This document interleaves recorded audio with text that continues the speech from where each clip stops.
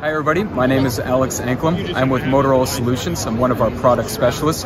We're over here at booth 935 and today we're going to be looking at our newest portable radio, our Apex Next XE. So the Apex Next XE takes really the same ruggedness and audio quality that everyone has come to expect from the Apex series of products, but now it's enhanced and added on features and functionality that have never been available in any of our radios before.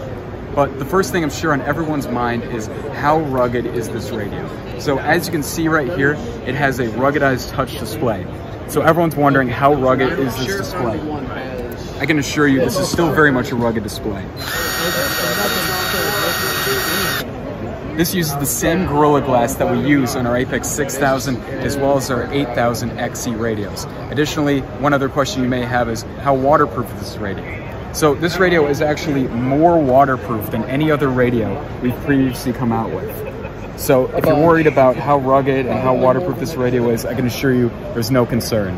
However, beyond the great ruggedness and audio quality that you can come to expect, we've integrated new features in the radio that we've never previously had before through the use of integrated LTE. So one of those features we call is Smart Connect. Smart Connect is the ability to roam or roll over from your P25 radio coverage over to LTE should you ever lose that coverage.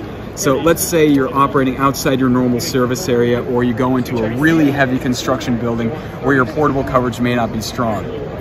In that situation, the radio will automatically sense that the radio coverage has fallen away, and within three seconds, you don't have to change any channel.